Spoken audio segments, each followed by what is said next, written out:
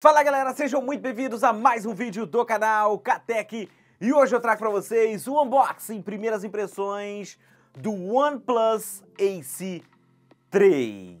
Conhecido no mercado global como OnePlus 12R, esse aparelho é uma alternativa para quem quer um novo OnePlus e não tem muita grana para comprar o OnePlus 12. Obviamente aqui temos um smartphone um pouco mais básico, mas de básico esse aparelho não tem nada. Ele vem equipado aí com o processador da Qualcomm, o Snapdragon 8, geração 2, conta com 16 GB de memória RAM 512 GB de armazenamento interno, tela Full HD Plus LTPO AMOLED de 6.78 polegadas com 1 bilhão de cores, HDR10 Plus, Dolby Vision 120 Hz refresh rate e um brilho máximo de até 4.500 nits. Tripla câmera traseira, sendo principal de 50 megapixels, outra grande angular de 8 megapixels e por fim uma macro de 2 megapixels e na sua câmera frontal temos aí 16 megapixels. E para finalizar, uma bateria de 5.500 mAh com um carregamento rápido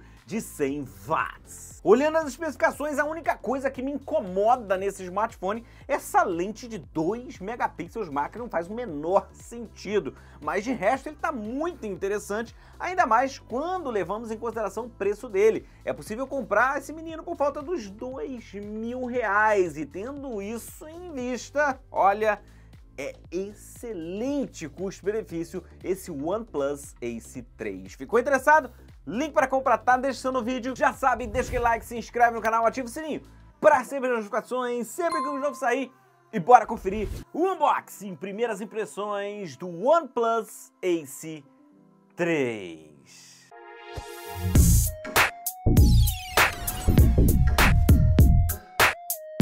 Bom, galera, então vamos lá para o unboxing, primeiras impressões do OnePlus Ace 3, que nada mais é do que aí o OnePlus 12 R em sua versão global ele chegou com esse nome, né? Esse daqui é a versão chinesa, mas é o mesmo smartphone, a caixa obviamente é diferente, temos aqui ó, um vermelhão bonito, gosto do nome Ace, o 3 aqui, só que num verniz localizado vermelho, ao estilo aqui da OnePlus, bem legal. Aqui do lado temos os OnePlus Ace 3, do outro lado também, aqui nada, aqui temos sim a versão, né, que é de 16 GB de memória RAM, 512 GB de armazenamento interno. Sinceramente, nem sei se há essa versão no mercado global de smartphones, mas enfim, abrindo aqui, ó, temos Ace aqui na lateral e do outro lado temos OnePlus. Isso é bem legal, gosto isso nas caixas da OnePlus. Aqui temos a frase aí da OnePlus. Aqui dentro encontramos o quê? Vamos ver, vamos ver, vamos ver. Uma capinha, obviamente, capinha bonita, aqui num tom de azul bem legal. Gostei aqui da capinha que vem no smartphone com aqui a logozinha da OnePlus num num brilho, né? Ficou bem legal. E aqui também temos a chavezinha para remoção da gaveta e colocar os seus chips de operadora. Aqui alguns adesivos da OnePlus e aqui temos o que? Manual de usuário, termo de garantia, enfim, é isso que vem na caixa. Aqui também temos o seu smartphone, é por isso que você comprou essa gracinha, né? E claro, temos ainda na caixa cabo e carregador. Sim, aqui temos um carregador com 100 watts de potência, não vem no nosso padrão de tomada, mas basta você colocar um adaptador que fica tudo tranquilo. Isso nessa versão Ace 3, né? Eu vou deixar o link das duas versões aí na descrição do vídeo. Essa daqui, que é a Ace 3, que é mais barata, por ser a versão chinesa, mas também vou deixar aí do OnePlus 12R. Mas eu iria nesse aqui, olha, de boa, sem dúvida alguma.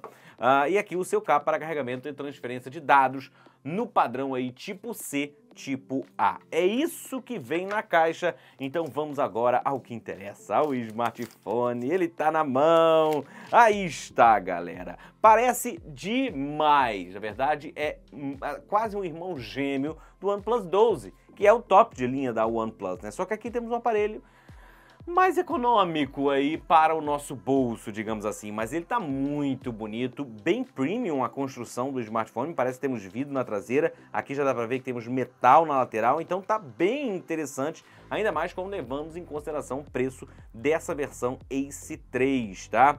Temos aqui uma tela levemente curva, o que eu particularmente gosto. Na frame, como eu já havia falado, temos aí metal, bem bonito, essa cor azul, né? Tá bem interessante mesmo. E agora, claro, vamos para a traseira do OnePlus Ace 3. E aí está, galera, olha que lindo! Olha só esse, essa passagem aqui de um lugar mais escuro, menos luz, agora com mais luz, olha isso! Tá lindo demais! E como eu falei, é extremamente parecida aí com o OnePlus 12. Obviamente, dá para notar que aqui temos uma construção ou um acabamento da traseira do smartphone mais simples do que temos na versão mais top do smartphone, mas é natural, né? Aqui temos um, um, um custo-benefício melhor, né? Um aparelho um pouco mais básico que nos oferece um melhor preço. Mas ele tá muito bonito, eu gostei demais desse azulado, tá sensacional a logo aqui da OnePlus, seu conjunto de câmeras, né? O que eu gostei ali no OnePlus 12, ele é inteiriço. Aqui parece que temos uma divisão entre o conjunto de câmeras e a frame, mas ele segue o mesmo padrão. E claro, essa rodela aqui, né, que comporta aqui uma, duas, três câmeras e também o seu flash. Para mim tá muito bonito e não poderia, né, deixar de dar um tapa na traseira se eu dei o tapa na traseira do OnePlus 12. Esse aqui é praticamente a mesma coisa, então sim, tapa na traseira aí do OnePlus Plus Ace 3 ou 12R. Na lateral direita temos aqui o seu botão Power e seus botões de volume. Na parte superior encontramos o microfone para redução de ruídos, infravermelho e aqui acredito que seja sensores de luminosidade e proximidade. Na lateral esquerda temos apenas a chave seletora para os perfis de áudio. Aqui você consegue é, selecionar se você quer o silencioso, vibrar ou com som ativo. E aqui na parte de baixo encontramos a gavetinha para colocar o seu chip de operadora, também o seu microfone principal, conector tipo C e alto-falante principal do smartphone. Vamos ligar aqui esse menino, vamos lá. Peraí, peraí, peraí, pronto, já iniciou enquanto ele inicia, aqui em cima temos o seu speaker para ligações, sensores de luminosidade e proximidade no furinho da tela, a sua câmera frontal. Já aqui embaixo não temos nada, né? Os botões são virtuais ou você pode utilizar a navegação por gestos. Como eu falei, versão chinesa desse OnePlus, ele vem aí com a Color OS, que é a ROM que normalmente vem nos Opus. Olha que loucura. Ele já veio aqui configurado, já tem aqui a Play Store, enfim.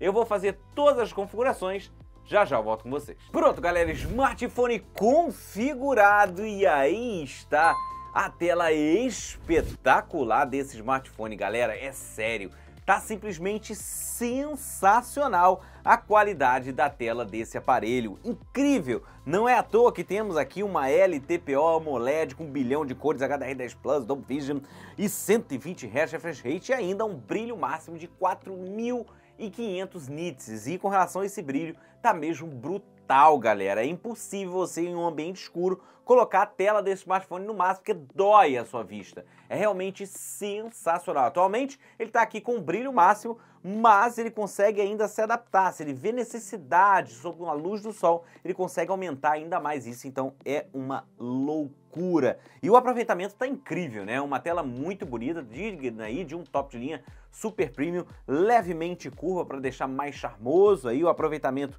está incrível e claro, o furinho da câmera frontal não atrapalha em nada e a qualidade é espetacular, porque estamos aí com uma AMOLED, preto muito sólido, cores bem vibrantes, enfim, gostei demais da tela do aparelho. Com relação às configurações, como vocês podem ver, tá tudo em inglês. A versão global desse smartphone é o OnePlus 12R, então esse Ace 3 você só vai encontrar em inglês e chinês, mas o 12R tá tudo ali global de boaça, tá? About Device, ele vem aqui com a Color OS, no 12R você vai encontrar a Oxygen OS, tá? A Color OS é a versão 14 e o Android aqui, se eu não me engano, é o Android 14 também, tá aqui ó, Android 14. Temos aqui 16 GB de RAM com a possibilidade de colocar até 28 GB, mas ele tá aqui só com mais 4, não tem necessidade, mas tem em mente que ele consegue chegar aos 28 de GB de RAM. E claro, é a versão de 512 GB, dos quais temos aí ocupados 65 GB,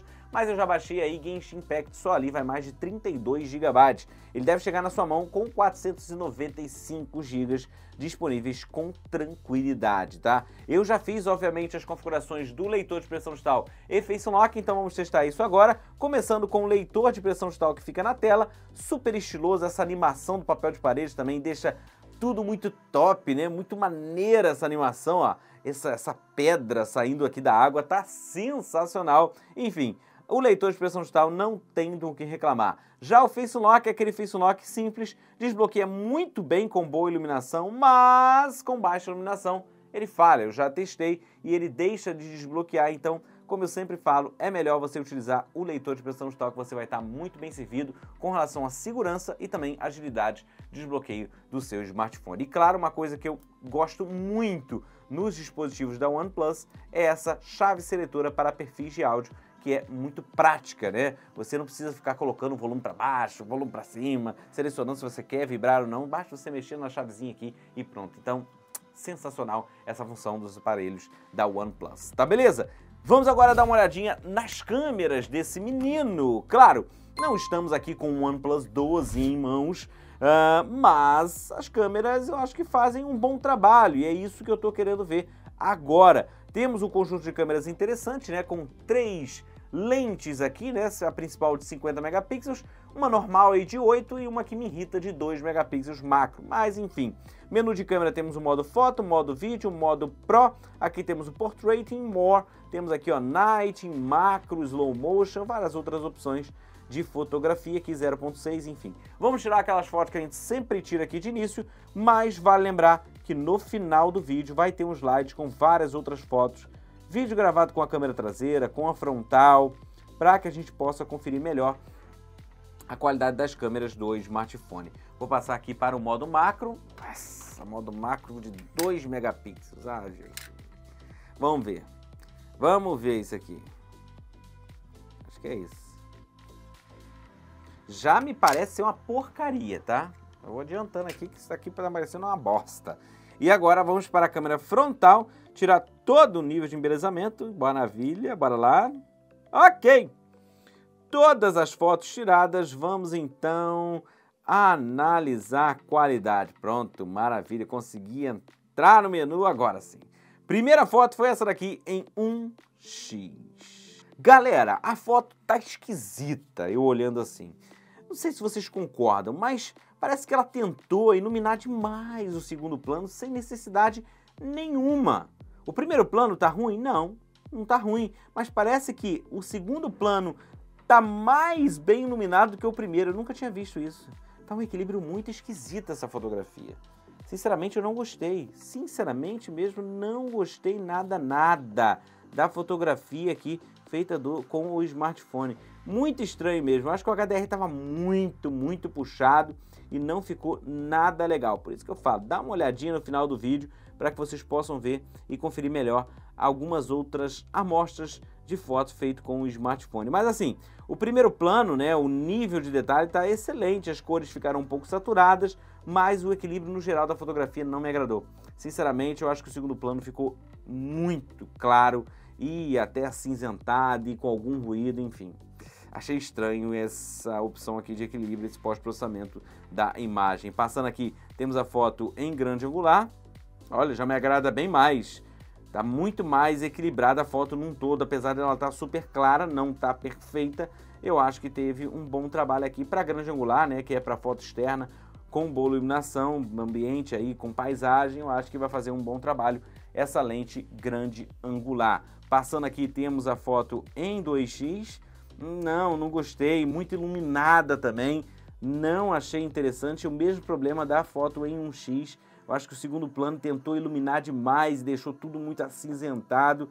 Não, e estourou também o primeiro plano. Hum, não gostei, hein? Essas primeiras impressões de mesas não estão me agradando. Essa macro é podre. Eu não vou nem comentar, galera. Olha isso. Deixa nos comentários o quão podre é essa foto macro. Ridículo. Isso acaba denegrindo a imagem do smartphone. Ele tem especificações muito interessantes, tem aí uma lente principal legal, que não se demonstrou aqui muito incrível, mas enfim, essa lente macro aqui tá podre. E por fim, temos aí a sua câmera frontal, aqui sim, está fazendo um trabalho ok, já esperado aí para uma lente de 16 megapixels que temos na câmera frontal, com um bom nível de detalhe, teve um equilíbrio legal, enfim. Gostei. Agora, aquela foto aqui que a gente tirou de mesa, né? Ah, com a câmera principal, ah, eu fiquei um pouco decepcionado, sinceramente. Então, dá uma conferida nas últimas fotos aí do slide para que a gente possa ver se realmente isso aqui vai fazer boas fotos ou não. Para já, me decepcionou um bocadinho, tá beleza? Vamos aproveitar agora ouvir um pouquinho da qualidade do áudio desse menino, bora lá? Sempre he Quantos te amos van ahorita? Yo ya pedí la cuenta. Quiero decirte que te amo. Ya van segundos y te extraño. Que dure siempre esta casualidad. Es que los otros no me Galera, a qualidade de áudio aqui tá muito interessante, principalmente a saída aqui de baixo é extremamente poderosa, muito mais do que aqui de cima. Claro que não tem o mesmo equilíbrio, obviamente, mas as duas em conjunto entregam uma boa experiência de áudio estéreo no smartphone. Gostei pra caramba, tá? Com relação a Attention 2, pra galera que gosta, ele marcou a pontuação de 1.627.226 pontos, quase que não saiu. Mas enfim, uma pontuação muito boa, né? Estamos falando aí do Snapdragon 8 geração 2, que dá muito bem conta do recado. Galera, tudo que o geração 3 faz, esse aqui faz, tá? Tenha isso em mente, é um smartphone ainda top de linha no quesito poder de processamento. Ele vai rodar absolutamente tudo que tiver disponível aí na Play Store com tranquilidade. Isso é realmente muito bom. Por isso que esse Snapdragon 8 geração 2 é capaz de nos entregar muitos custos-benefícios ainda pela frente. E esse OnePlus é uma prova disso, principalmente essa versão chinesa está num preço realmente sensacional. Então, para testar um pouco mais de desempenho, vamos abrir aí Genshin Impact. Vamos ver se ele vai dar conta de rodar um dos jogos mais pesados disponíveis na Play Store. Bora lá. Pronto, galera. Jogo carregado extremamente rápido aqui, o carregamento do jogo. Realmente gostei. Vamos aqui nas configurações gráficos. Como vocês podem ver, tá tudo no talo a 60 FPS. Então, bora rodar aqui para ver como é que ele se sai com Genshin Impact. Vamos dar aquele giro inicial. Olha aí, de boa, hein? De boa. Agora deu, deu soluço agora na hora da gravação do vídeo, que ótimo. Ah, tem uma galera aqui.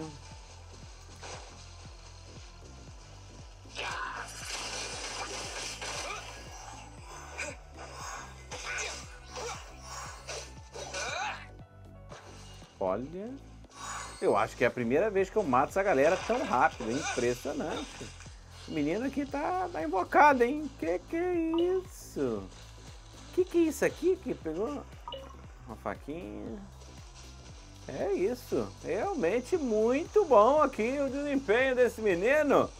Rodando perfeitamente, zero engasgo. Eu não notei absolutamente nada. Deixa nos comentários se você tem um olho de Tandera e percebeu alguma coisa, porque eu não percebi nada na execução aqui.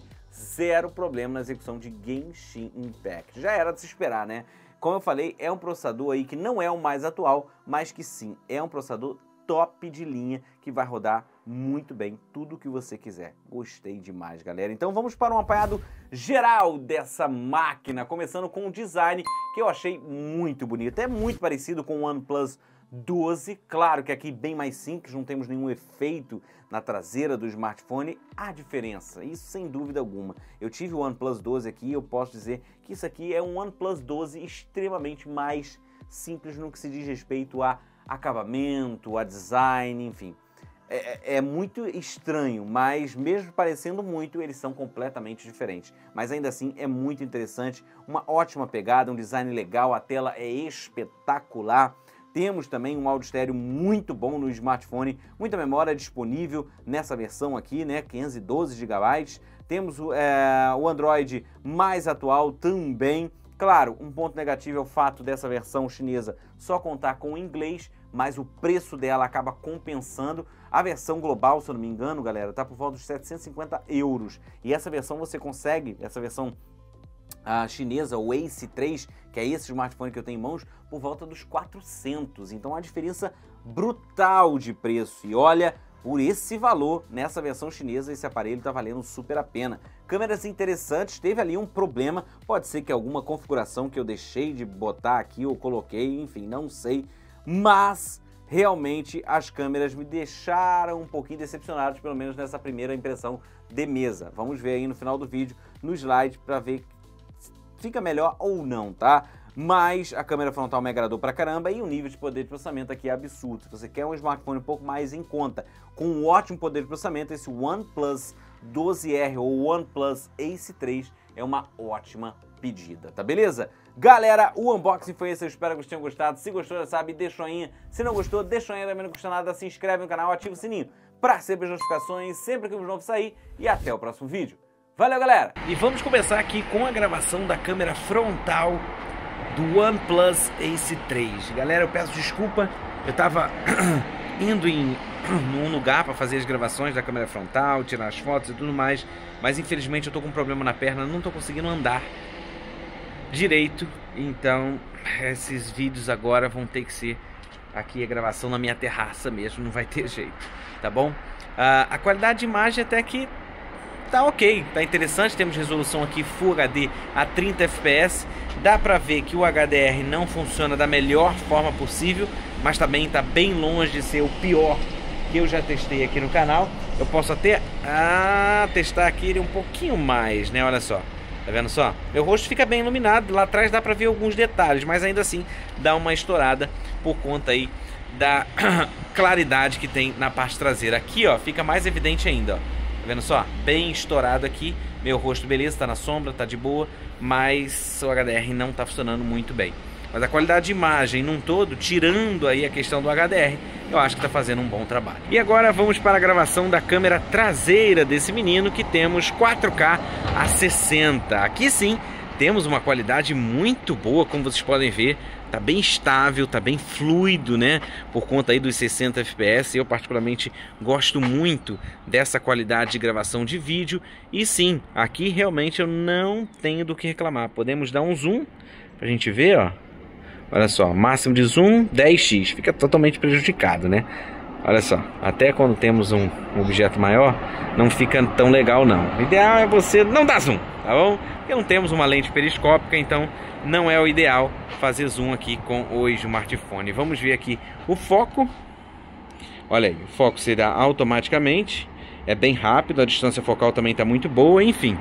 A qualidade de filmagem aqui da gravação da câmera traseira eu gostei pra caramba.